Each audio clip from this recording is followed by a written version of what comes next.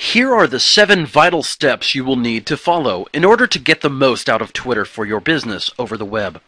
Step number one research your market. Know who you want to target. Step number two create your page. Approach your business. Step number three perfect your profile. Be professional. Step number four tweeting.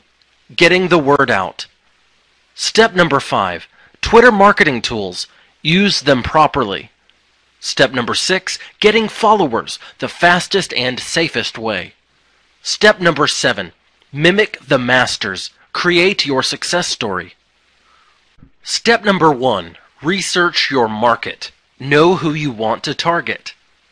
The first thing you need to do is clarify what your business is all about, what your brand is, and what your purpose is in the marketing world.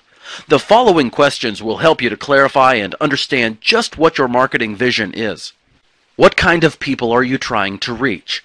I'm sure you already know the type of people that your services are directed to.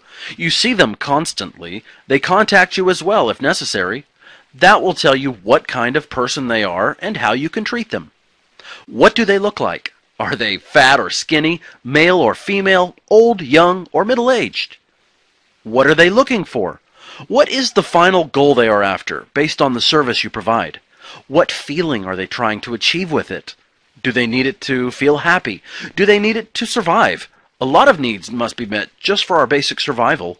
What do you actually do for them? Maybe you are already offering a service for that audience. That will give you a great idea of what exactly you need to inform any new people who fit into that same audience. What kind of information would they be interested to know about and pay for? You already know the needs of your customers.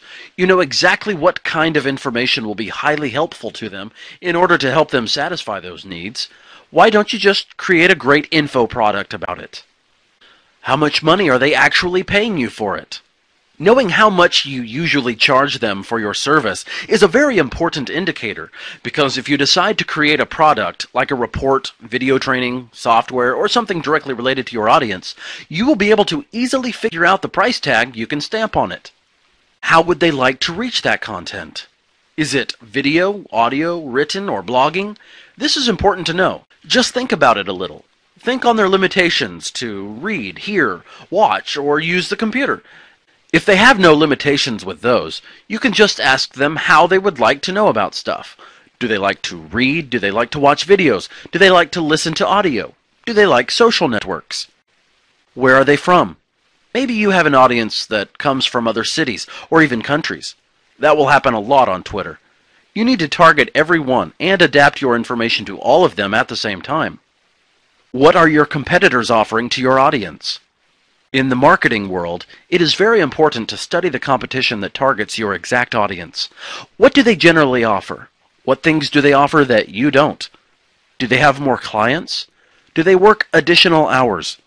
Do they cover a lot more needs than you? Can you offer a better service or product than your competitors? Once you know everything about your successful competitors, you can just offer the same thing, but with your personal touch plus a lot more great things that they are not offering. You can have special offers, free samples, free call consultations, special discounts, etc. These questions are very important in deciding how to establish your business over Twitter. You can position almost any kind of business over Twitter because Twitter is more than just a website or a service. It is a social platform composed of a large audience of people with real human needs who are waiting for you and your service to satisfy them.